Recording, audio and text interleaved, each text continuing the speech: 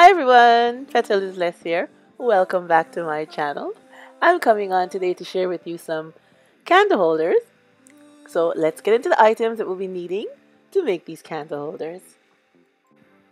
Okay, I got these um silver plastic spoons from the Dollar Tree. They come 24 in the pack. And they're nice and silver, so I'll be using those. And I have these tea light holders that I'll be using also from the Dollar Tree. And we have these two vases here from the Dollar Tree. and we have some bling wrap. Uh, this bling wrap I got totally dazzled. But the Dollar Tree also sells bling wrap. And we have our glue gun, you guys. Alright, everyone. Let's get started. Alright everyone, we have our spoons and we're just going to break off the top part of the spoons. Just see they break very easy and we'll be gluing them going around our vase. Just apply the glue with the glue gun. You can use the E6000 if you choose to, but I'll be using the hot glue gun today.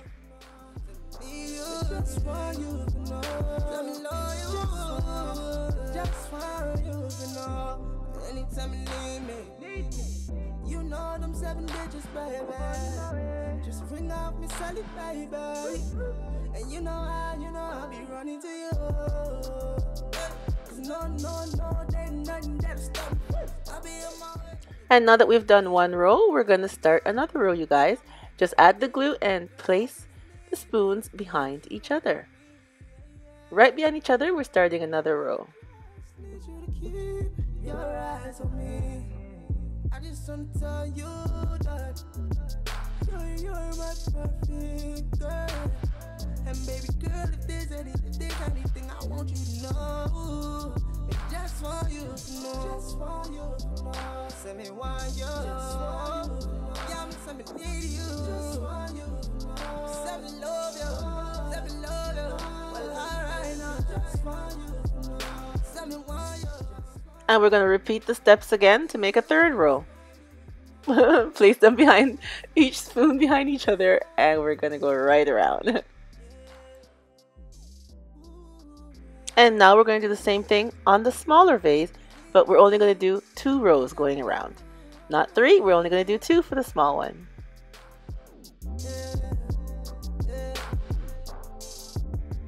Okay, you guys, I was to use the, the bling wrap, going around the bottom to cover up the space. But no, I think I'm going to be using the gems. I think it will look much neater if I use the gems and place on each individual spoon at the bottom to hide the imperfections that are showing from where the spoon broke. And you can get these size gems at Walmart or at Michael's.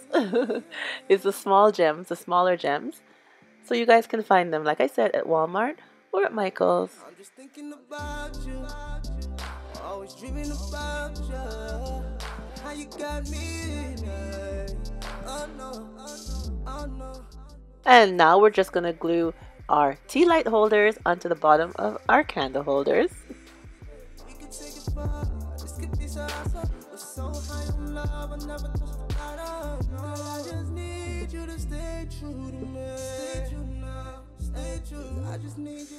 Alright everyone, here's our finished look.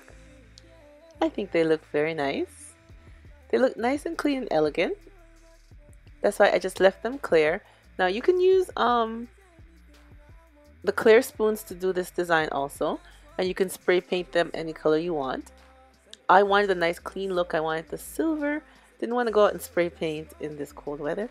so that's why I used the silver spoons. And I like how they turned out. They turned out very nice. I think they do. What do you think? yeah.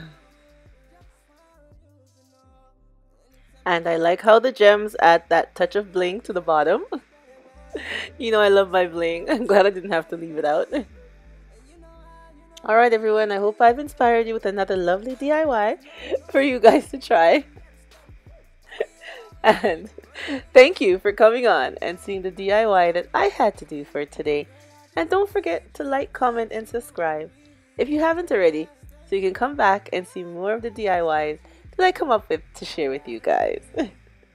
and remember, as always, stay blessed from Petal is Blessed. Bye bye, everyone. Just for you to know. Just for you to know. Send me why you. Need you. Just for you